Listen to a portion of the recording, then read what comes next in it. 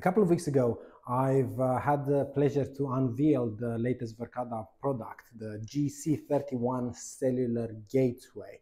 Uh, I gave you an idea of the main differences between the indoor and the outdoor version, but in today's session, I wanted to unbox the indoor one and then show you how easy it is to configure and command. So let's go.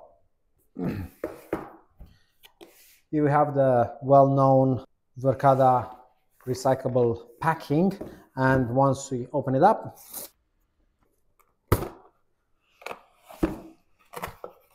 you'll see the main cellular gateway with the two antennas uncoupled. So all you need to do is take the stickers off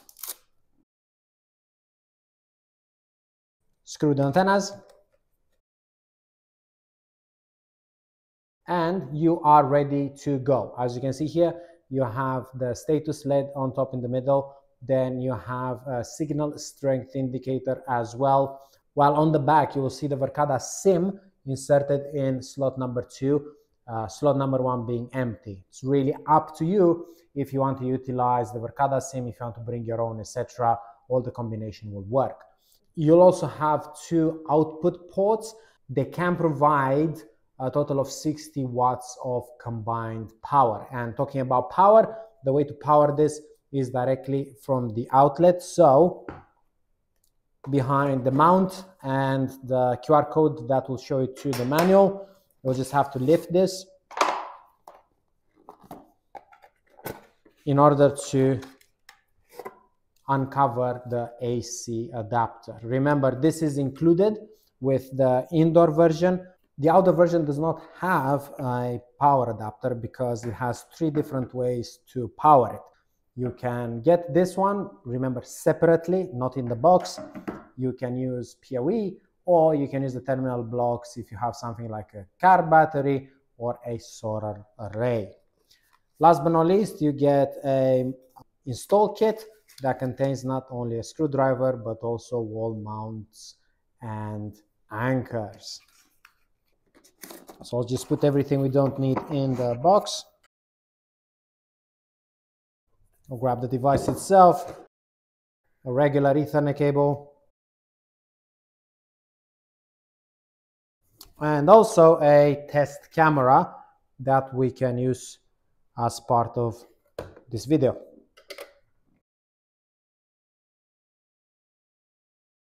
Now that I have everything plugged in, I'm just going to go ahead and add the cellular module just like any other Verkada device by clicking the waffle, add devices, scan the QR code,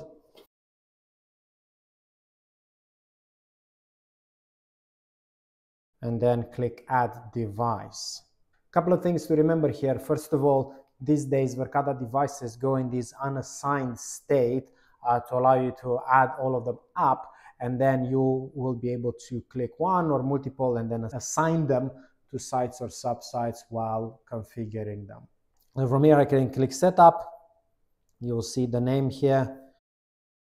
I will create a new site, a new test site for me, and I'll just give it a location and I'll leave it to properly connect to command. The second type thing I wanted to mention is that if you plug in any devices downstream and the gateway is not actually claimed into command, yeah, it will not actually forward traffic. So uh, the camera, for example, will be flashing blue to let you know that although it is operational, it cannot connect to the Verkada cloud. So uh, I gave the device about a minute to configure its SIM and become active. And uh, here it is. It is uh, green in command. I can see two bars of uh, signal strength.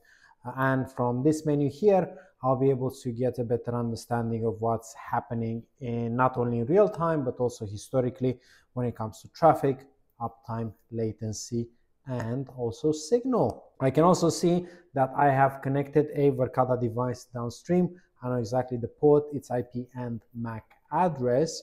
Remember the gateway will become a de facto DHCP server and I can also see that it consumes about 2 watts. Now the only thing I need to do is to go back again to uh, the waffle to add devices and then enter the serial number of the camera.